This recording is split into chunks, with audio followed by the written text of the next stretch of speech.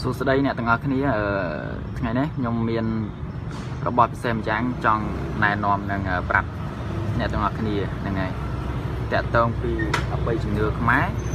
នេះគេហៅថានប់រស័យណា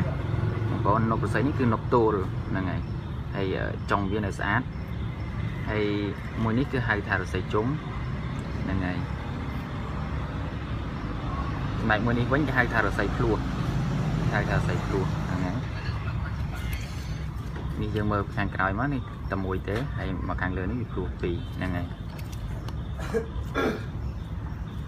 អឺនេះរៀបជាឈុតតែម្ដងហ្នឹងហើយ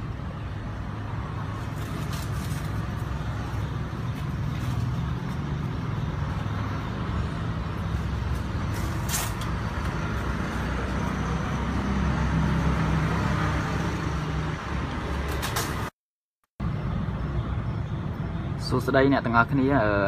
ថ្ងៃនេះខ្ញុំមានរបបពិសេសម្យ៉ាងចង់ណែនាំនិងប្រាប់អ្នកទាំងអស់គ្នាហ្នឹងហើយតកតងពីអបិយជំនឿខ្មែរនេះគេហៅថានប់រស័យណាបងប្អូននប់រស័យនេះគឺនប់ទូលហ្នឹងហើយហើយចុងវានៅស្អាតហើយ